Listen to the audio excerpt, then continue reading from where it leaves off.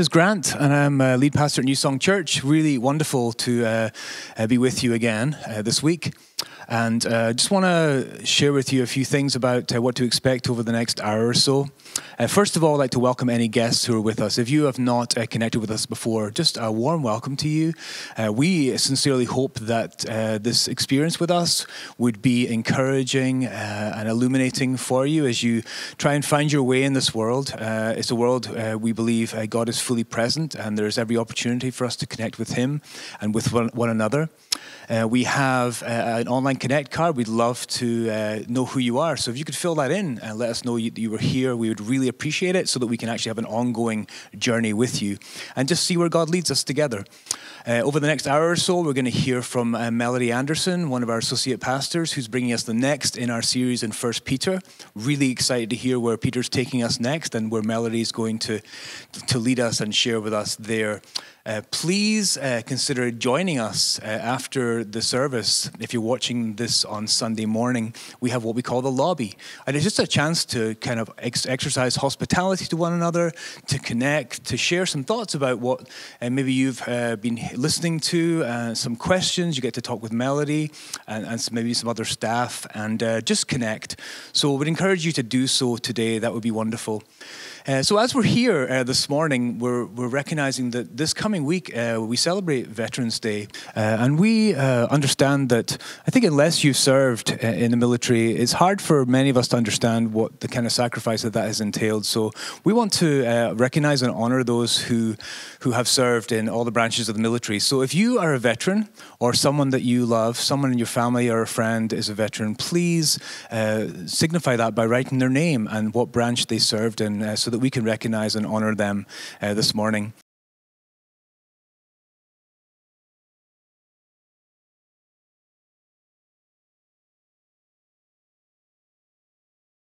So we really appreciate just uh, your presence here with us. We've been really trying out all different ways to connect and, and, bring more connection. There's been lots and lots of people joining together at nine o'clock on a Sunday morning uh, to experience this together in real time uh, and to increase the connection that we have.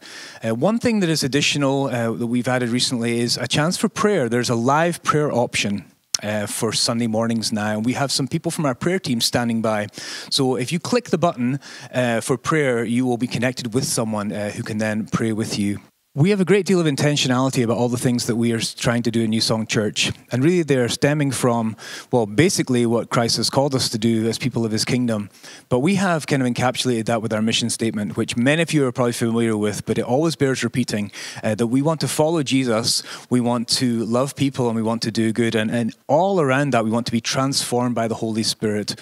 Uh, and that is actually kind of in two ways. Uh, as we do these things, we find ourselves being transformed. And as we are transformed, we're better able uh, to really do the things that God's calling us to do. Uh, one of these things has been just the uh, continued growth of our pantry and our garden ministry. And we are really excited to uh, kind of expand our, uh, our people's knowledge about what is going on there. So we have an event coming up on the 15th of November, which we'd encourage you to register for. And it's called Come and See. I was reminded actually of a time when Jesus, in his early days of ministry, one of his people came came to their brother and said, Hey, you must come and see. Uh, we've found the Messiah. Uh, and so the brother comes and uh, he's a little skeptical at first, but then when he actually comes and meets Jesus, he is kind of uh, captivated by this, this man, Jesus, and becomes a follower of his. You know, we can actually hear about what's happening in the pantry, we can hear about what's happening at the garden, but there's something particularly powerful about actually coming and stepping into that space and seeing what Jesus has been doing in our midst uh, through these difficult times. And so please come along. There'll be a chance to, to just observe and to hear some vision and to pray and to also uh, find ways to become involved. So we'd encourage you to register for that. You know, we believe that God is truly working in our midst. Uh, sometimes we don't see it right in the moment. Uh, the other day, I was speaking with somebody, and they were sharing how uh, the impact uh, of, of a, uh, something that someone had done years prior was only now beginning to bear fruit in their lives. And I think that's helpful for us because sometimes in the moment we we can minimize maybe um, the things that we're doing, the things that we're giving, the ways we're participating, because we're very much sometimes stuck in in seeing it just in that day or that time, and uh, sometimes we we begin to doubt that what we're doing is really significant and making a difference. But in God's kingdom, uh, so much of it is actually going to bear fruit in the future as the pieces come together. So I would just encourage all, us all to continue to participate uh, in all the ways that we can.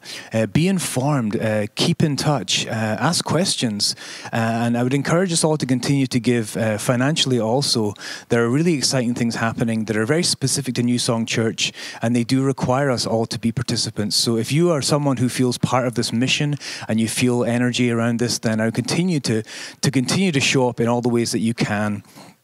Uh, because not just here in our local area, but around the world, we've been hearing from various co-workers around the world, and it's so exciting to hear from them. Uh, but we continue to support these people, and some of them are going through some hard times. Um, also, we really want to be strong in as far as resources, because we do believe that people are going to be having some needs in the future. Our pantry meets some food needs, but there's there's going to be other ones, and we want to do these things in Jesus' name for God's glory. So, thank you so much, uh, all who participate in this mission. Uh, your generosity is astounding and, and so uh, gratefully received, uh, you know, through our hands to our community in Jesus' name. So, will you join at me for a moment of prayer as we continue in our time together? Father, Lord, we give you deep thanks for all that you are as you meet all that we are and we can feel in, in the light of all that you are sometimes so weak, so insignificant. Uh, but Lord, um, in that light, we actually discover truly uh, the gifts that you've given us that are truly part of who we are. Lord, help us to find our sense of joy, our sense of hope, our sense of a future in you alone. And Lord, call your people to participate rise up in us such a desire to know you and for you to be known, uh, that we would be filled with faith, with confidence, that fear and anxiety would fly away uh, in the light of your goodness and love. For we ask it in Jesus' name. Amen.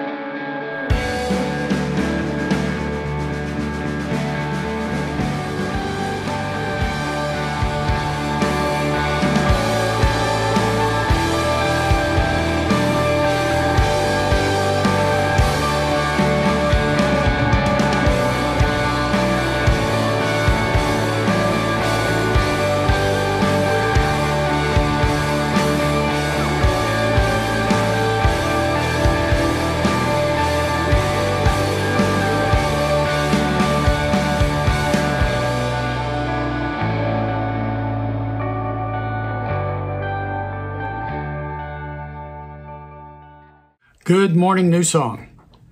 This is Sam Metcalf.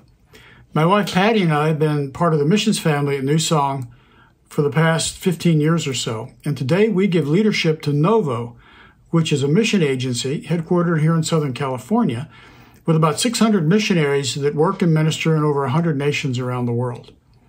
And where we have those missionaries, they seek to start and to multiply movements of the gospel. Now, 2020's been a it's been a really rough year, as as I'm sure it's been for you and your families. Um, but at the same time, with the pandemic and the lockdowns and all of that, I can assure you that God's not on lockdown. And the reports that we get from all over the world are really kind of astounding. And some of the awesome things that God's doing and seeing literally thousands of people decide to become committed followers of Jesus. A verse that's been particularly meaningful during that time for me, or during this time for me, and I pray it's true for you guys too, is Philippians 1:12. In the midst of all of these difficulties and challenges and circumstances, Paul says this I want you to know, my brothers and my sisters, that what has happened to me has really served to advance the gospel. So I pray that that's true for you as well. Despite all of these challenges, they've all served to advance the gospel. That brings us to the passage for this morning out of 1 Peter chapter 2. We're going to start at verse 18, 1 Peter 2, 18. And here's what Peter writes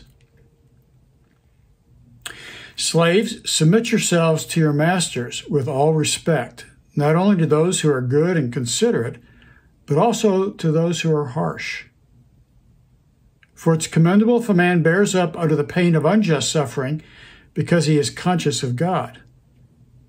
But how is it to your credit if you receive a beating for doing wrong and you endure it? But if you suffer for doing good and you endure it, that is commendable before God. To this you are called, because Christ suffered for you, leaving you an example that you should follow in his steps. He committed no sin, and no deceit was found in his mouth. When they hurled their insults at him, he didn't retaliate, but he suffered. He made no threats, and instead he entrusted himself to him who judges justly. He himself bore our sins in his body on the tree, so that we might die to sin and live for righteousness. By his wounds you have been healed. For you were like sheep going astray, but now you've returned to the shepherd and overseer of your souls. Amen. Good morning. My name is Melody, and I'm one of the pastors here at New Song, and I am happy to be bringing you a little message this morning. Uh, how are you doing this week? Uh, how are you doing today? This week has felt long and heavy and weighty, and I don't know about you, but I've been going about my daily activities and you know, while I'm doing these things, I've just felt this weighty presence in the air. Is, is that does that resonate with you at all? How how are you doing right now, honestly? Um, if I were at your front door right now, this morning, if I were to knock on your front door live and say, How are you doing? What would you tell me? What would you say? Not even regarding the politics of this week or anything like that, but what would you say if I was right in front of you? Would you say, I'm fine, I'm okay, I'm doing great? What would you say? Uh, would you list out maybe a list of, of physical pain that you're going through? Oh, my back hurts. Oh, my neck hurts. Oh, my shoulder. What, what, would you list out a list of things that you're physically feeling? What would you tell me? What would you tell me if I was right in front of you today? What would you, what would you not tell me? What would you not tell me? I wonder if I was at your doorstep right now. Technically, I might be even uh, further into your house if I'm on your screen at home or if I'm coming through the speakers in your car. But if I were face to face to you, I would tell you, you know what, my body aches like crazy actually right now. Um, some of you may know I took a little fall last week. It felt more like a really big fall. I fell trying to on a hike. It was, anyway, it was bad. But I can barely lift my arm right now. I can barely lift my arm. My body hurts. Uh, and I would tell you this because it might be fairly obvious in person, maybe it's fairly obvious through the screen, but I would tell you that because it's it's obvious, it's on my mind, it's what I'm going through. Uh, have you taken a spill uh, any point in your life? Do you have any home remedies that I can do? I'm all ears. What what did you do to make yourself feel better? What I probably wouldn't tell you is that this week I also had a really bad case of food poisoning. I ate something that did not agree with my stomach, and I have not had much to eat this week other than broth and a little bit of tea because my stomach was on strike and Oh boy, what a week. Uh, have you had any food poisoning lately?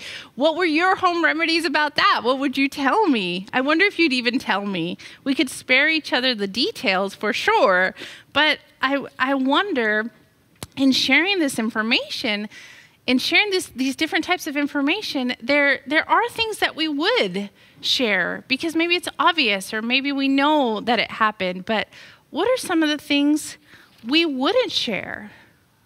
What are some of the things we wouldn't talk about, the things that we're going through? Is it too personal? Is it too deep? Is it too embarrassing? Is it too weird? Is it too much information? TMI, as the saying goes? We're guarded. We're really guarded with what we share a lot of the time. And I wonder why that is. I wonder if we're fearful of being judged uh, or if we're fearful of being accepted if we shared or being seen differently. So right now, without fear, without fear of judgment, without, you know, maybe spare us some of the some of the gory details, but how has this week been for you? Tell us about that. Tell us about, maybe tell me about the things that aren't physical in the sense of, you know, you took a fall or you ate something bad. What about your level of anxiety? What about, um, are you experiencing loneliness? Do you, are you fearing something right now?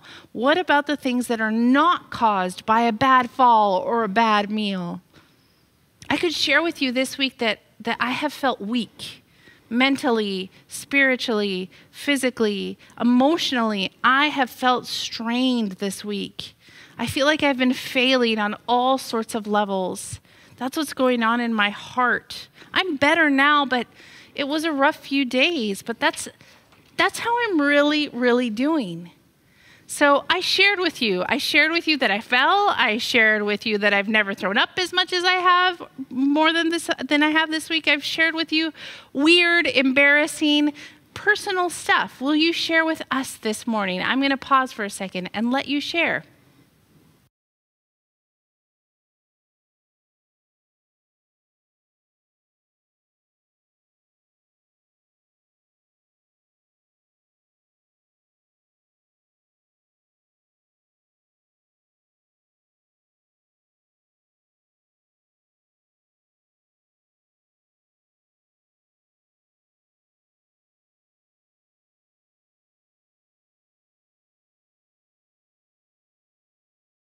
Thank you for sharing. We're gonna we're gonna get to the point of that in a second. Um, my next question for you is, where where are we as a church right now? Where are we as a community of believers that says, Lord, I will follow your will. Lord, we trust you. Lord, guide us. Lord, lead us through it all. Lord, our eyes are on you. Through it all, we trust you.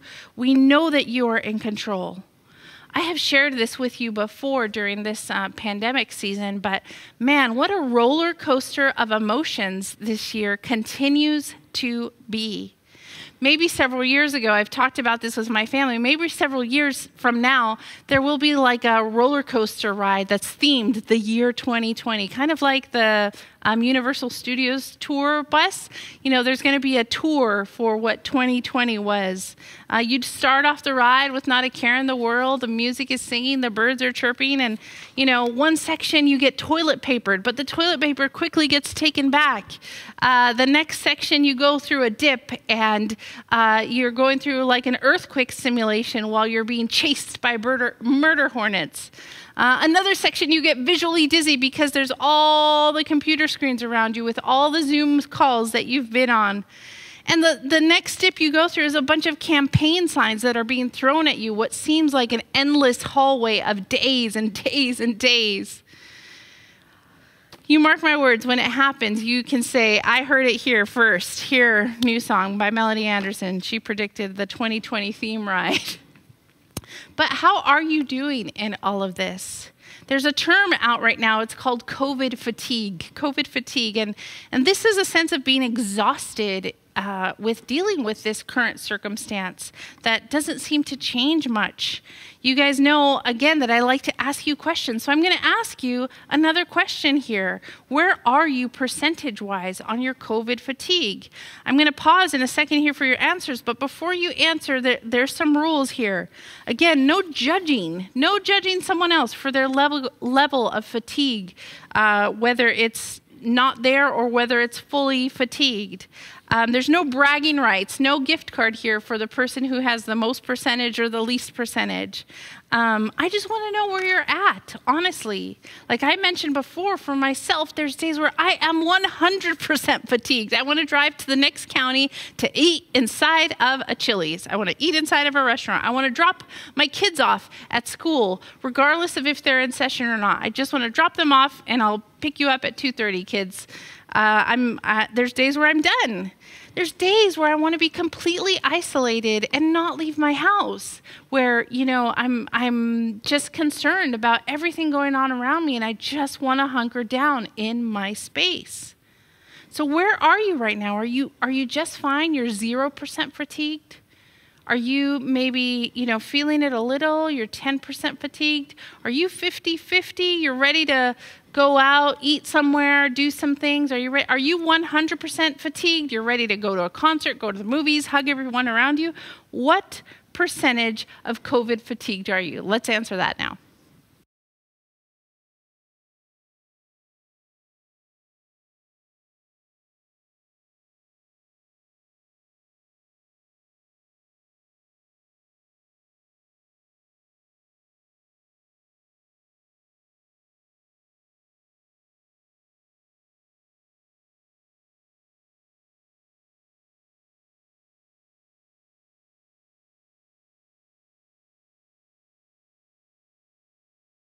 The reason I'm asking you these questions and the reason I want to know is because I want to know your personal account of things. I want to hear about your experience. I want to know what's going on in your life so that I can say, man, I am right there with you, or so I can say, you know what, that stinks.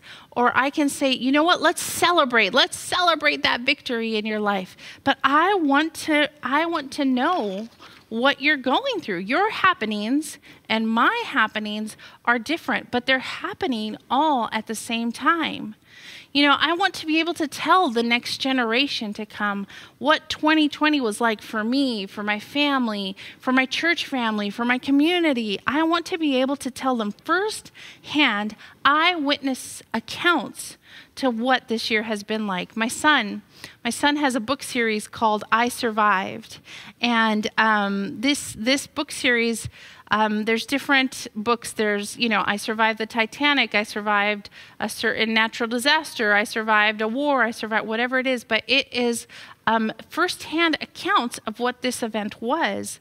And so um, these are fascinating because they they, you know, someone like my son has no idea what it's like to be going through something like that, something he's reading about.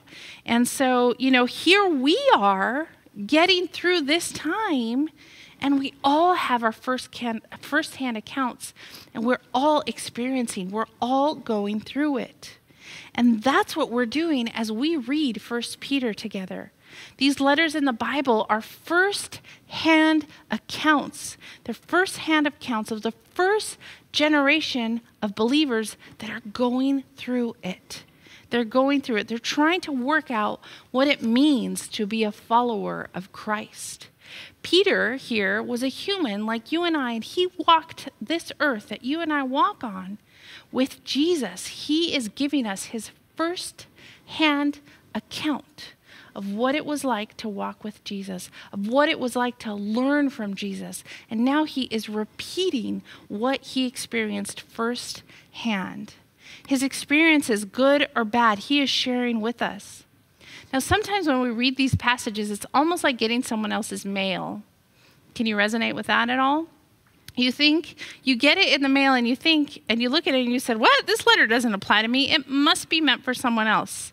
How does this experience benefit me at all. Just recently, my neighbor and I, we had our Amazon packages mixed up. And so I opened the Amazon package, not even checking the name, because Amazon comes to my door quite frequently. And I open it and I quickly realize this is not my package. And I look, and sure enough, there's my neighbor's name. And so I, you know, I went to take over her package, and I said, "How? Why did you order this? How do you use this thing?" And and she starts to tell me about this product and how it benefits her and what she uses it for.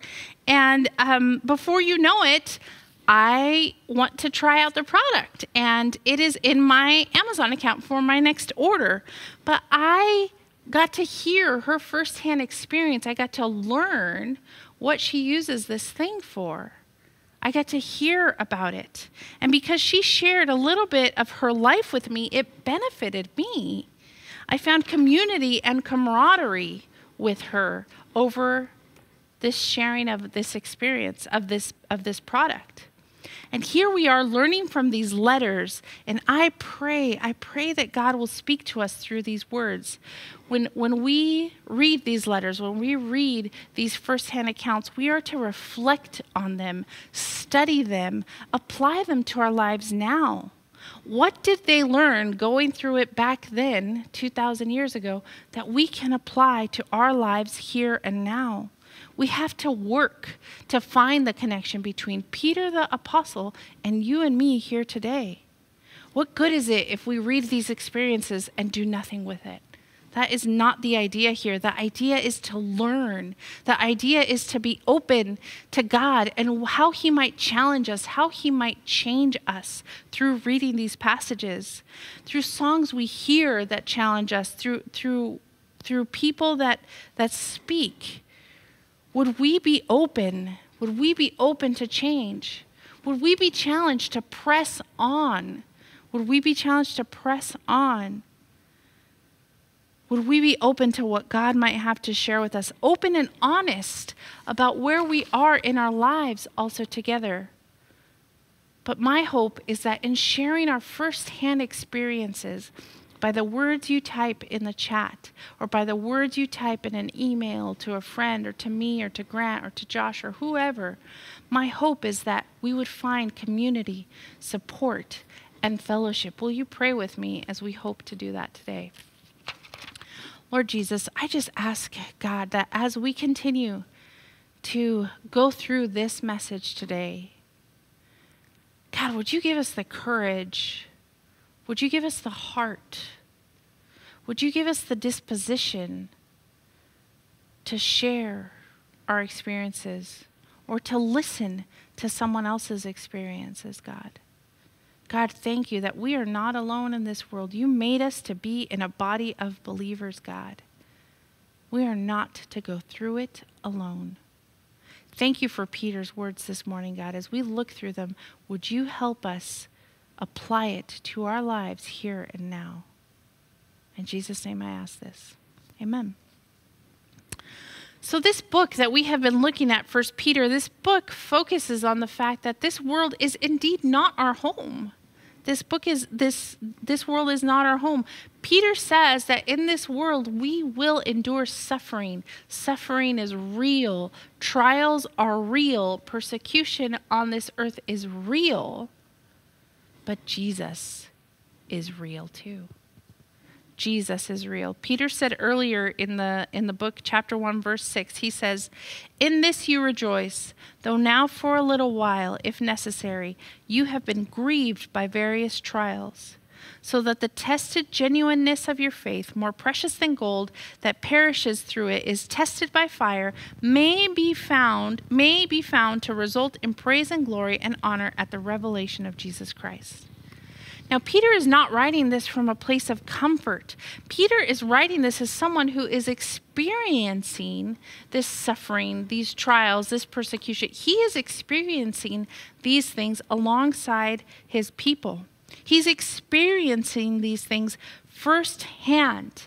And he is trying to encourage people 2,000 years ago and two, 2,000 years later, encouraging you and me. Our scripture today specifically speaks about suffering, and there's a lot of different types of suffering. In his book, Timothy Keller, in the book Walking Through God Through Pain and Suffering, Timothy Keller says that there are several different varieties of suffering. Suffering we bring on ourselves, suffering of betrayal, suffering of loss, the suffering of mystery, and suffering in this sense, this this passage, this passage specifically would read that Peter is referring to a social hierarchy that no one seems to have the power to change. And while a quick read may seem to point us in that direction, let me ask you, let me ask you this question How does this passage speak to you, to your account of life? How does it speak to you? When you read this with me today, what thoughts immediately come to mind? What words stand out to you? In our teaching team, Grant, Josh, and myself, we meet weekly with the passage for the week. We meet weekly and we talk about how it hits us first, personally.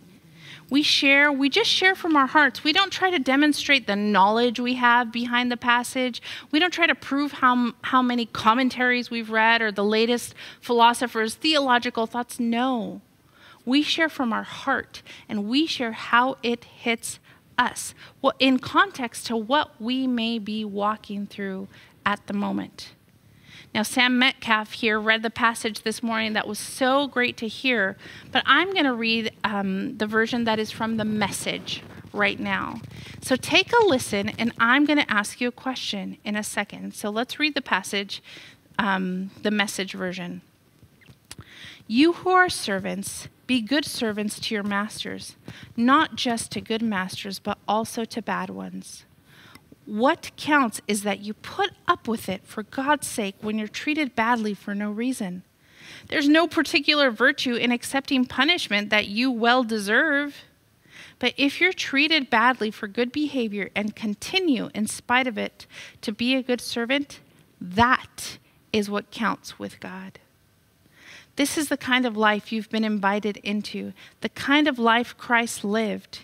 He suffered everything that came his way so that you would know that it could be done and also know how to do it step by step. He never did one thing wrong, not once said anything amiss. They called him every name in the book, and he said nothing back. He suffered in silence, content to let God set things right. He used his servant body to carry out our sins to the cross so that we could be rid of sin, free to live the right way. His wounds became your healing. You were lost sheep with no idea who you were or where you were going. Now you're named and kept for good by the shepherd of your souls. So I'm going to ask you now, we're going to keep the passage up on the screen. And I'm going to ask you, how does that how does this passage hit you? Is there a word that stands out to you? Is there a phrase? What do you think about when you read this? I'm going to pause and you can go ahead and answer.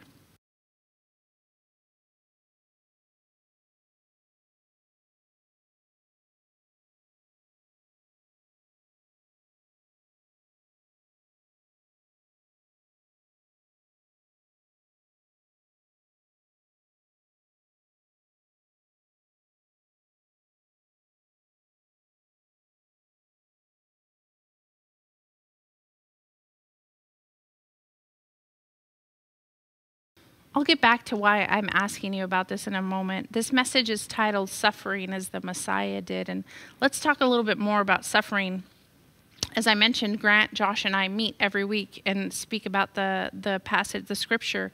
And in our meeting with Grant and Josh, I shared that the first thought that came to my mind, the first lens I read this through, was through the lens of a personal relationship. I have someone in my life, not my husband, just to be clear, um, but I have someone in my life who can be very cruel. For no rhyme or reason, they are just unhappy, and therefore, they give grief to those around them, and myself included in that sometimes. There are times that we suffer at the hands of others unjustly. No rhyme or reason. It's very unjust. We can do everything right and we still get treated poorly. Suffering unjustly can happen in all sorts of situations. Unjust, thing, unjust things happen all the time. Peter here, he's aware. He is aware of the brutality that exists, the terrible things happening around him. And Peter knows that this new generation of believers, these people going through these situations at this time, he knows that they're looking to him for the how to guidelines on, on how to get through their situation. They're saying, hey, we're followers of Christ. We saw him. We saw him being crucified. We saw him being risen from the dead. We saw all that. We have a new faith, and now comes the glory, right? Now comes the easy part, right? Well, not exactly. Not exactly. Peter here, he is not super optimistic about the world changing its social structures, uh, in the world changing its treatments of people. But Peter here in this passage is talking to us about our response our response when we experience these things. Peter here is giving out practical advice. He is giving out a how to function in the world around them, how to endure what is happening. He is saying, be in it, endure it, go through it. Wait, what? Wait, what? Isn't this the glory part? We have faith. We have we believe. Isn't this Wait, wait, wait, wait, wait. You're saying submit yourselves? You were called for this? That's what you're saying to us, Peter? That's why we want to take these passages in the Bible and just slam the Bible shut, as I've said before, and pretend we didn't read that. Pretend we didn't read submit yourselves, for you were called to this. We want to shut the Bible. Wouldn't suffering just be taken away because I'm a follower of Christ? Wouldn't I be spared that? Wouldn't living in this world be easier because I have faith? No, no. But Peter is saying he thinks God can use your suffering.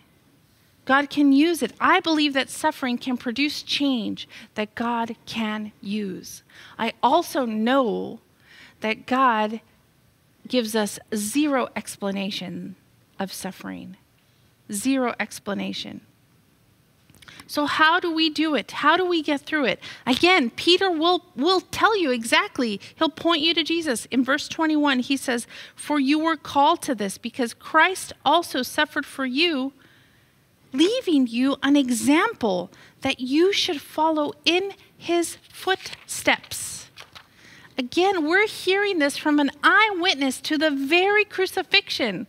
He saw Christ suffer firsthand, and he is letting you know that he received the charge from the Messiah that you and I have received the same charge. In Matthew 5, verse 43, you have heard that it was said, Love your neighbor and hate your enemy. This is Jesus speaking. But I tell you, Jesus tells you, love your enemies and pray for those who persecute you. Jesus also said, Brother will rise against brother. People will hate you because of me. He also said this in Matthew 5 You are blessed when they insult you. You are blessed when they insult you and persecute you and falsely say every kind of evil against you because of me. These are Jesus' words. He says, Be glad and rejoice because your reward is great in heaven. Jesus did not make any promise of an easy life. In fact, he is telling you how to get through the hard stuff.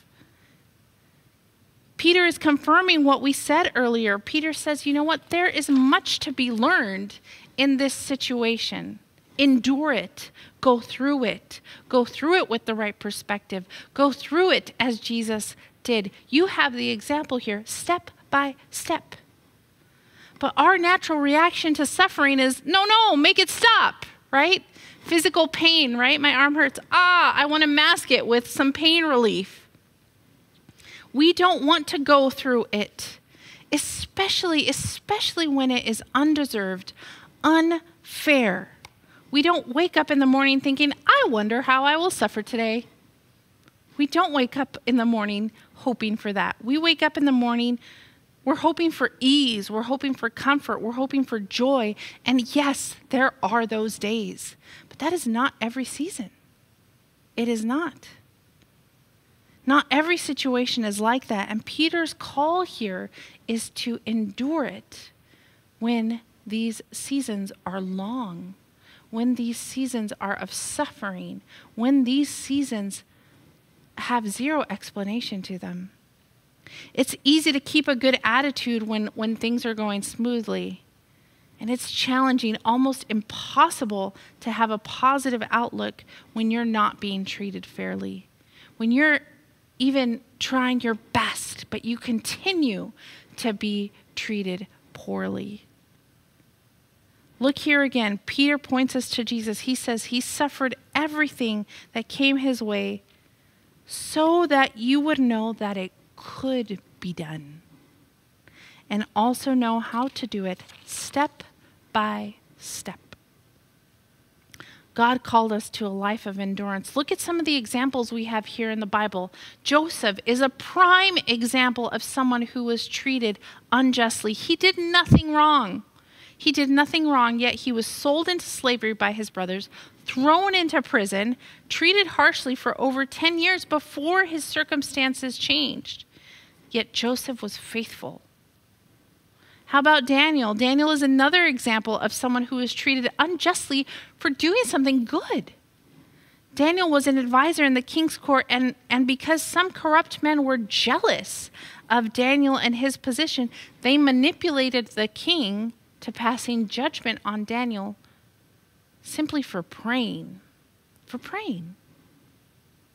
So they threw him in the lion's den. These people did nothing wrong, yet they had to endure much. Even when the situation is awful, he calls us to go through it, to endure it. He gave us an example to follow. He said Jesus didn't return insult, not once said anything amiss. Again, the message version says, They called him every name in the book, and he said nothing back. He suffered in silence, content to let God set things right, content to let God set things right. I can share with you story after story of people asking me, Melody, why am I going through this? Melody, why is God making me go through this? And there's been situations where I don't even know how to respond. I don't. But I do know that Christianity was born through suffering. Christianity was born in and through suffering. From the time Mary gave birth to him to his crucifixion on the cross, there was suffering. So, are you enduring some suffering today? What are you enduring? What are you going through? Do you have any sort of person in your life that treats you poorly, that treats you unfairly, that treats you badly no matter what you do, no matter how hard you try? Do you just, do you just, you can't wait for the day that you can tell them off? Do you have someone in your life that, that you love, that you love, and treats you so badly, unjustly? What about what I asked earlier? What about our dislike for 2020, right? Peter is saying, submit to what is happening around you, experience it in its fullness with the right perspective, with the right attitude. Well, Peter, that is fantastic. But you know what? I've had enough of 2020, right? That's what we would say. Peter would probably say back to you and me, I know, but submit yourselves to the Lord who is in control. Submit yourself to the Lord who is in control. What might the Lord have for you in this experience in 2020? We're so busy trying to ask God to change our lives, and we're waiting for circumstances, terrible circumstances sometimes, to change. But God is saying, I can use you now. Endure it. Be obedient. Be a good witness for me. Endure it. We should seek to serve the Lord with the right attitude, the right perspective, regardless of the situation. My question to you is Will you do as, as, as God asks you to? Will you endure? Will you remain silent when you are insulted, when you are treated unfairly, when you face unjust treatment? Will you be content to let God set things right. Will you listen to Peter's words here and be okay with it? You know, we sing the song, we sing the song, It is well. It is well with my soul. You have taught me to say, It is well. But is it well? Is it well with your soul? Do you have confidence in that? Are you content in your soul to let God sort things out? It can be. It, it maybe doesn't feel like it, but it can be. Christ endured it all so that we can look to Him while we are going through it. Our eyes are to follow Him step by step while we are going through it. Our eyes are to remain fixed on Him and His example. If you were to ask me today, Melody, how do I deal with unjust things in life as I look at this passage? If you were to ask me that today, I'd, I'd remind you of three things, three things, and I'd tell you to do one thing. The three things I'd remind you of is this. Number one, I'd remind you of who Jesus is. Verse 20, he did not commit sin, and no deceit was found in his mouth. He was perfect, yet he suffered unjustly. The second thing I'd remind you of is what Jesus did. Verse 23 When he was insulted, he did not insult in return. When he suffered, he did not threaten, but entrusted to the one who judges justly. He did not take matters into his own hands. And three, the last thing I'd remind you of is what Jesus did. Verse 25 For we were, for you were like sheep going astray, but you have now returned to the shepherd and overseer of your souls. He is with us when we are going through it. He was perfect, yet he suffered. He did not take matters into his own hands. He is with us while we are going through it. And the thing I'd tell you to do, the thing I'd suggest that you do after you are reminded of these things, is share your firsthand account with us. Share your story, share your experience with others. Your experience may give a voice, may give affirmation to those who are suffering in the same way. You might find camaraderie, you might find community, you might find support, like I found with my neighbor with her product. You might find that. But you have to be willing to share your firsthand experience. Your courage might give others the courage to share their frustration, their fears, their hurts. Your vulnerability might give evidence that someone needs to hear on how God has shown up for you. You may bring hope, comfort in the hardship. We desperately need each other, not just in the triumphs, but in the dark days. That's when we need each other the most. We are the body of Christ, and we were also called to endure these things together. We are called to share in one another's sufferings. We sing this song, It is Well Together, even when it isn't. Because when I can't walk, you carry me. When you can't walk, I will carry you. That is the call. Our stories matter, our hurts matter, our suffering matters. But what we believe and how we get through it matters more. It matters more. I'm going to ask you to listen to a song for a brief moment, for a brief moment, and come back. And I'm going to ask you to reflect on your story, your firsthand account of what is happening in your life right now. Is it well with your soul? Is it well with your soul? Are you content to let God take care of things? Are you content to be silent? Or are there situations, people you need to lift up in prayer so that you can endure? You can go through it. Let's reflect on this song for a moment. When peace like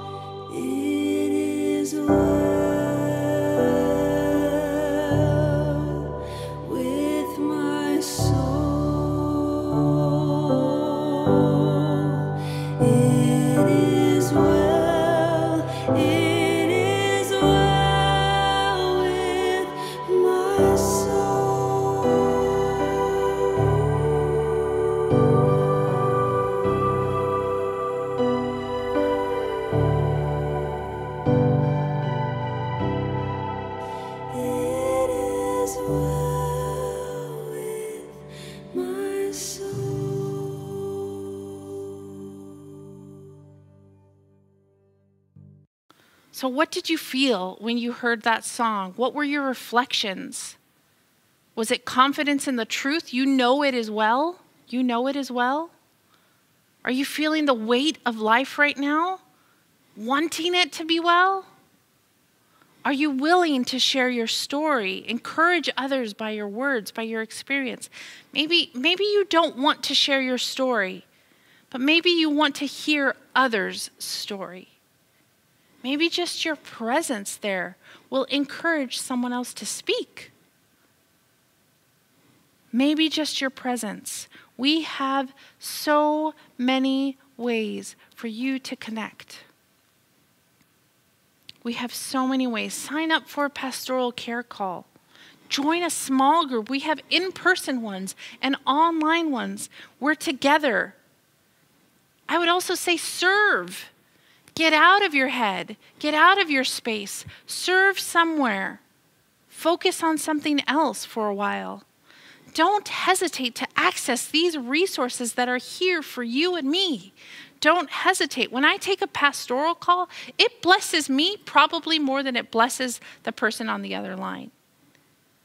And, you know, when we click the lobby link right after the message, when we click that link, it warms my heart to see these faces. It warms my heart to see how people are doing this week. I've said it before to lots of people I don't need you to show up. I don't need you because we're trying to reach a certain goal, we're trying to get a certain number. I don't need that. I want you there. I want you there for me. I want you there for me, and I want you there for you. I want you there. I want you to show up. I want to endure it with you. I want you to endure it with me.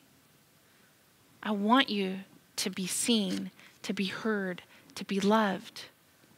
Let's go through it together. Let's endure together. Thank you so much to Melody for bringing the word to us today. Uh, we sincerely hope that uh, what you heard today has caused you to, to think and to feel uh, and, and, truly, we believe that, that God is one who speaks, that He is always speaking. And He particularly speaks through the proclamation of the word, when what we call preaching, when someone brings a message. I know Melody has prayed all week uh, that God would reveal through her what it is He wants to tell us. And that's so unique and so individual to each one of us. I know we all hear differently, but we believe the Holy Spirit uh, brings us just what we need.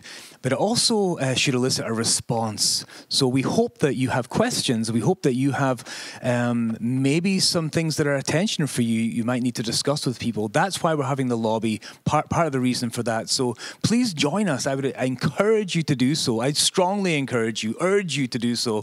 I know all who have participated in that time have found it to be nourishing and helpful, and, and typically we've all left with smiles on our faces uh, because we get a chance to talk and to connect. That's really what we want to do. Um, so please join us in the lobby and, and have a conversation and some time for prayer.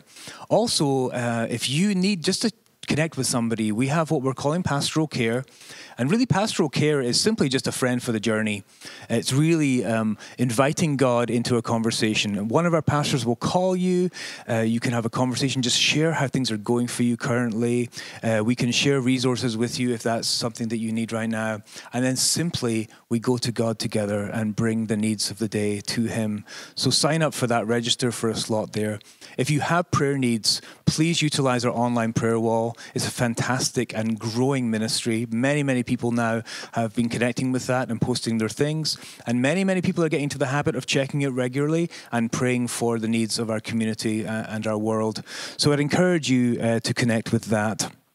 And talking of prayer, every Wednesday, Sonia and the prayer team will be leading us uh, in a time of prayer, 7 o'clock Wednesdays. Uh, register for that to receive the link and join with your community in doing this thing that we've said is a real goal for us this year. Again, we want to become a community of prayer. We want to surround everything that we do uh, with this sense of an intention of crying out to God, asking Him to shape us, change us, and use us for His kingdom good work in our communities. Thank you so much for being here with us again and look forward to connecting again next week. Uh, if you have any questions, please connect with us uh, through the office uh, and we will make sure that we uh, address the concerns of your days Uh, God is good. We, we really truly believe that no matter what situation we find ourselves in, and there are many, many, things to be concerned about in our world today, we believe that God is faithful. And actually, these are the days when the church should be shining most brightly. Uh, if we will hold together, if we will uh, act justly, if we will love mercy, and if we will walk humbly with God. And that's what all this is designed to do for us, that we together will learn more about Jesus and be transformed by that knowledge uh, to actually live different kinds of lives in our community. Uh, God bless you. Have a wonderful week. Uh, take care. Be safe. We'll see you soon.